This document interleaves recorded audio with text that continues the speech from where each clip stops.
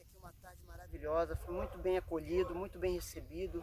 O Elvis é o administrador desta casa, desta comunidade terapêutica que faz um trabalho belíssimo, um trabalho em todos os sentidos. O Elvis vai falar também, porque eles não abrem mão da questão espiritual também, que é fundamental na recuperação de pessoas que têm esse tipo de problema, certo? Então Elvis vai falar um pouco do trabalho aqui da comunidade de Betânia, da casa, que ele administra tão bem.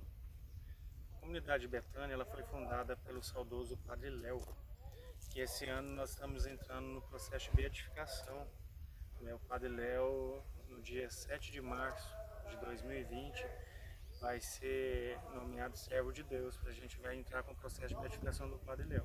A comunidade tem 25 anos, e nesses 25 anos que irá completar este ano, nós estamos restaurando vidas. É né? uma comunidade de, é, de vida e aliança, onde nós acolhemos o Cristo, que vem até nós na figura, na pessoa do dependente químico, do marginalizado. E estamos a, a completar 10 anos aqui nas terras do Rio de Janeiro, em terras fluminenses, onde contribuímos, ajudamos né, na restauração do filho que vem até nós.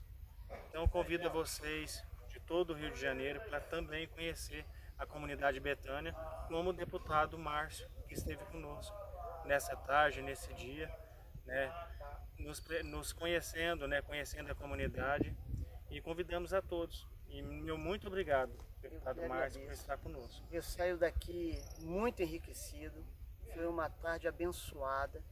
O trabalho que eles realizam é magnífico, então nós temos que ajudar de alguma maneira, não somente as autoridades, não somente os políticos, mas todos os cidadãos, não é mesmo, Elvis? Todos os cidadãos de bem que queiram conhecer a comunidade de Betânia aqui em Italva, está de portas abertas para receber a todos, para mostrar o trabalho que eles realizam e também, caso você se sinta tocado para ajudar a comunidade de Betânia de alguma maneira, faça, porque com absoluta certeza você não irá se arrepender.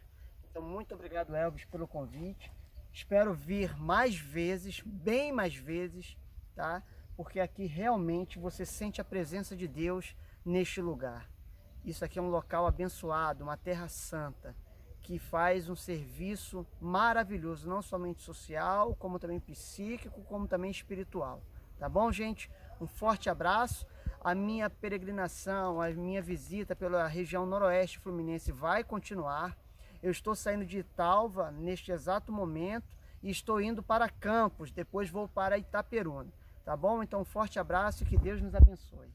E, deputado Márcio, a comunidade, né, desde quando o Padre Léo suscitou no coração, né, de fundar a comunidade, e nós temos a nossa grande marca do nosso abraço, né, com o abraço que cura, o abraço que, que restaura.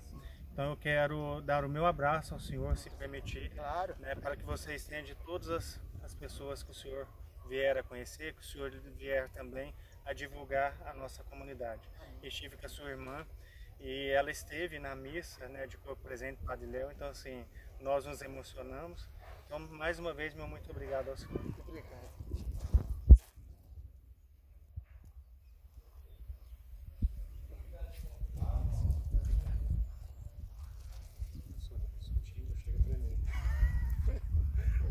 perdoa se